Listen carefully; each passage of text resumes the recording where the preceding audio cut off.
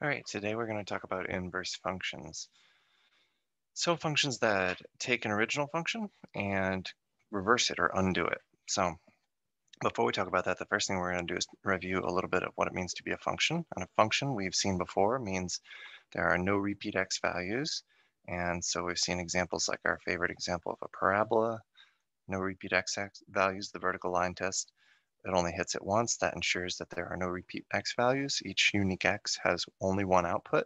That makes it pass the vertical line test, whereas things like uh, circles are not functions because they hit that twice.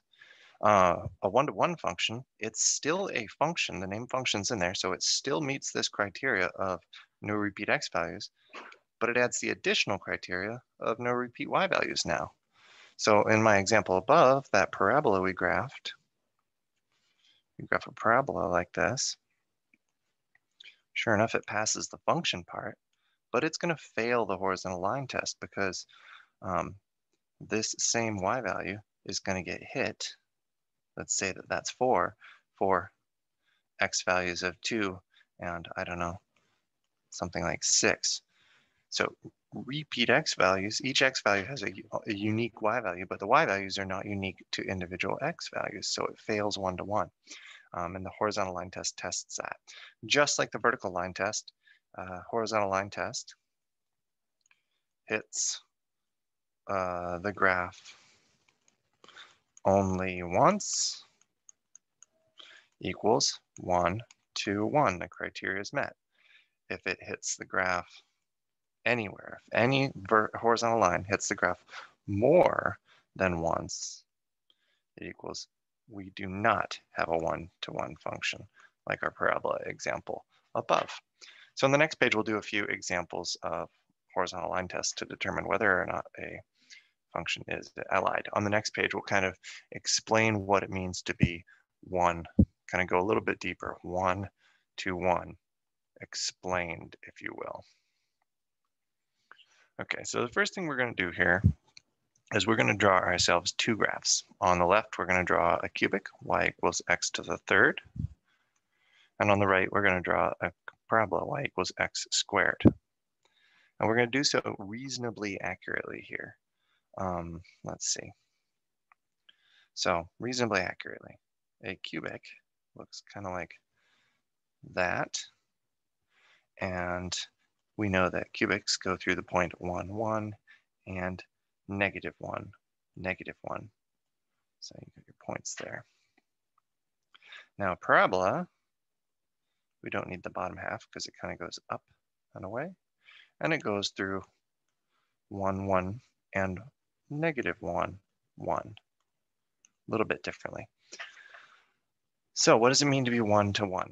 Well, remember, 1 to 1 means no repeat y values, no repeat y values. We already know it's a function because it has no repeat x values, but we want no repeat y values.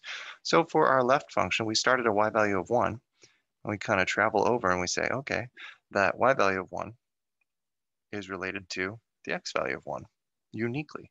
And if we started any other different value of, of y, negative 1 for instance, and travel over, we see that that value of y is related uniquely to the x value of negative 1. And so there are no repeat ones.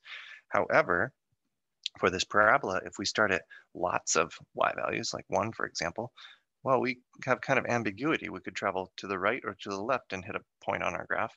And those points respectively go down to two different x values. So this thing is not 1, 2, 1 because it has repeat y values. And this one is 1, 2, 1 because it has no repeat y's. So now on the next slide, let's do a couple examples of horizontal line tests to test for one-to-one. -one. Why one-to-one -one is important is coming soon. All right, so first thing we're going to see here is lots of examples. Well, we recognize this first one as our friend, the absolute value graph. This middle one, y equals x to the third. Spoiler, we did that one on the last slide. And this third one over here to the right is y equals the square root of x, things we've seen before. So horizontal line test. Just right away, your absolute value, it hits it twice, so it fails. So it is not a one to one function. And then now we move on to x cubed.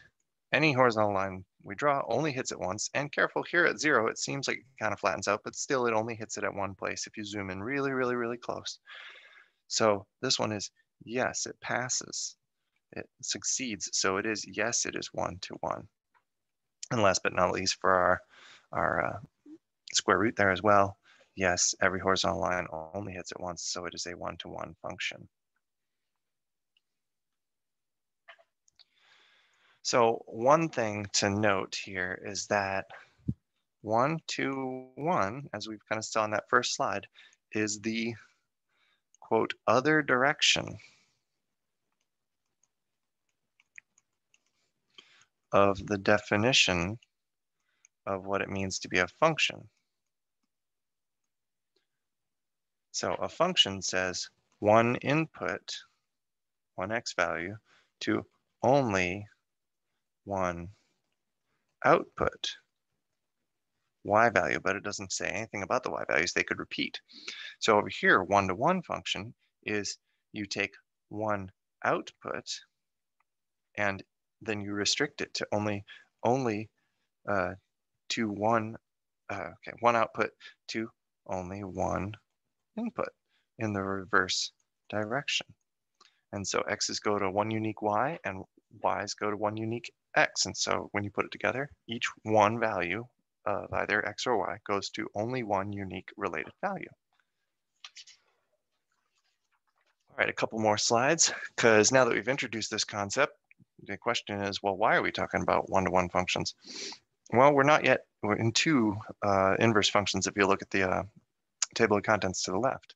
So now we'll start talking about inverse functions. And it turns out that the second bullet point down, a function must be one-to-one -one in order to have an inverse. And we'll try, I'll try and draw a picture that kind of explains that a little bit. But so the inverse of a function reverses the original. And so let's just think about that. And let's take a look at, uh, well, let's talk about notation first. And the notation here, uh, the inverse of an original function, f of x, is denoted by f inverse of x. Caution, this little raised to the negative one is not an exponent. It is a piece of notation that means f, f to the, what looks like to the negative first power means inverse of the related original function of f. But so let's take a quick second look at what it means to reverse an original function. So, and, and while we're talking about that, we'll think about why we need it to be one-to-one. -one. So let's look at one that fails. So our example that we've used that fails the one-to-one -one test is the parabola. And uh, one that passes is the cubic. Okay, so reasonably accurate graphs here. Again, that the same picture we drew before uh, with uh, one hash mark in every direction should give us a pretty good picture and some concrete points on our graphs to actually look at and consider. Okay, so for uh, an inverse to reverse an original function, well, we know how to go, take an input x and go to y for any of these functions. But let's reverse that relationship. Let's start with a y value. So we'll start with a y value and let's pick one that both of these functions hit. Well, both of these functions hit one. So down here at the one-to-one -one function, the cubic, if I start at one as my y value, yeah, just looking at the graph, I can go over to the point on the graph and I can see that 1 as a y value relates to 1 as an x value. You could think of it as y equals 1 tells us, implies that x equals 1 in the reverse order of what we usually think when we're, when we're calculating points for y equals x to the third power. Now over here on the parabola, if we did that same game, we started with y equals 1. Well, there's a bit of ambiguity here. How do I reverse the function? Oh, well, to be a function, it's got to go one. It's got to have just one related thing, but it doesn't have just one related thing. I could go to the right and I could say here that y equals one gives us a related x equals to one, or I could choose to go to the left. And green isn't good here in this case, it's just changing colors here. Um, and that would give me that y equals one is related to x equals negative one. And there's some ambiguity there. If I if I'm going to the reverse the relationship from y and then go back to the the original x that gave me that y, I can't have that ambiguity. I can't have two x's. Otherwise, we can't truly reverse the relationship. And so that's why the criteria has to be that we have a one-to-one -one function. Okay, so let's talk about domains and ranges a little bit of inverse functions. If a function reverses the other, then the domains and the ranges are reversed. So think about it like this. Um, and let's let's give ourselves an example. Let's think of f of x. Well, let me write that in a color. Um, f of x is equal to x to the third power. Now I am going to tell you that that maybe I should do that in the forward direction. Green would be a good choice of color for that. f of x equals x to the third power. Now to reverse that, we'll learn how to do this later, but I'm going to tell you that to reverse that relationship, um, f of y is equal to the third root of y. I'm, I'm choosing x and y here carefully and for a reason. Just roll with it, uh, and hopefully it'll come out in the wash.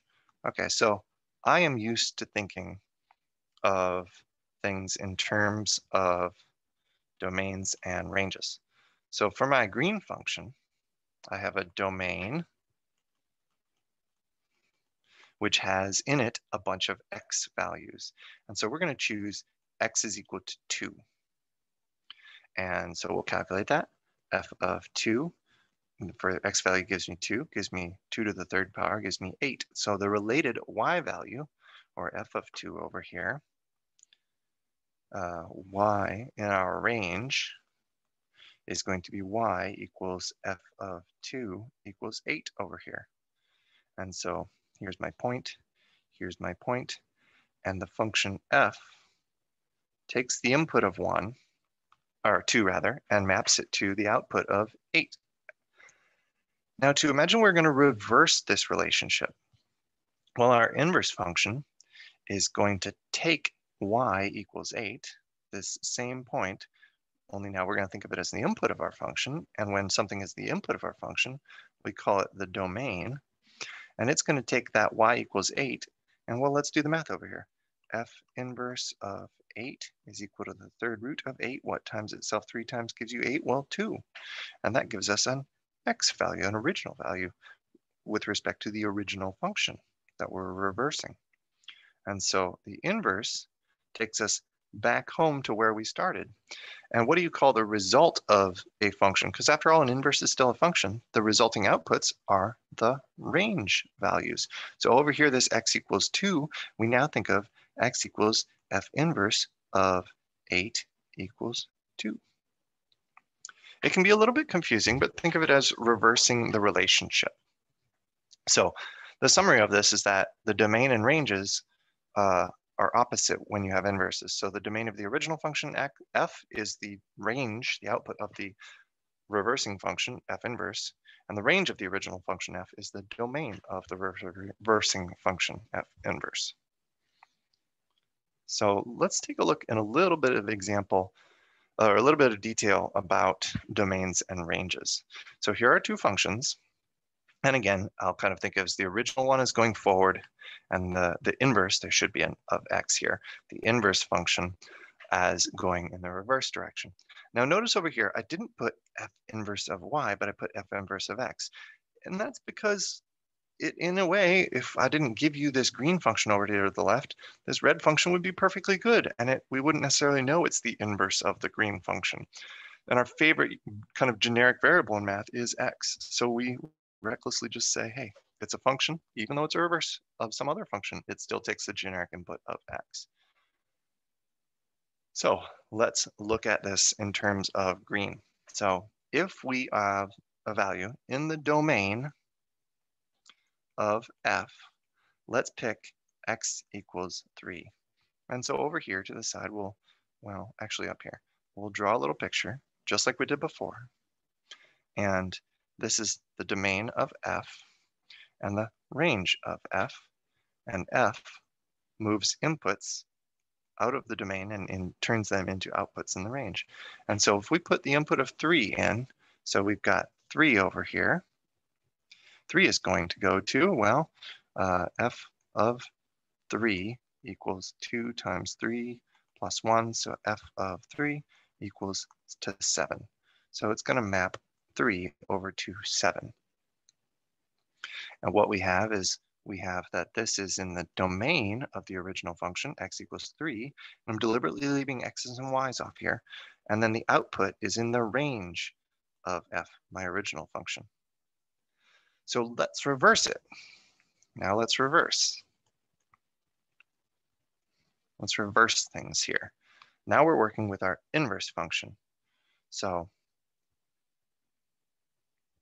in the, oops, let's start this way. Let's say, okay, in the range of f, we have um, 7. So inverses, that means in the domain of f inverse, we have 7 as an input.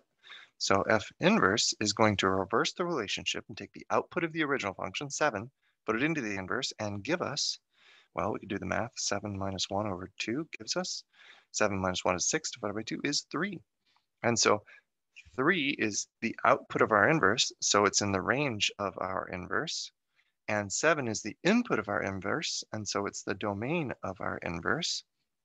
So let's now label these pictures as the same thing over here can also be thought of as the domain of the inverse, which is going to take and map those values using our inverse function to its range of f inverse.